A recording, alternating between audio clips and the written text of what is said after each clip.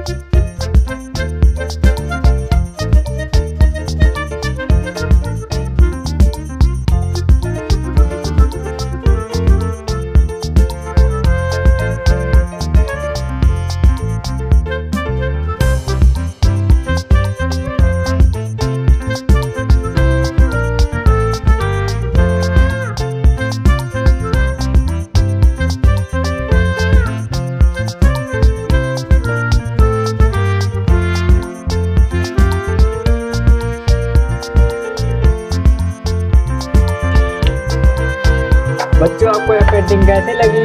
अगर अच्छी लगी हो तो चैनल को सब्सक्राइब कर लो और वीडियो को भी लाइक कर लो। मिलता हूँ बाय बाय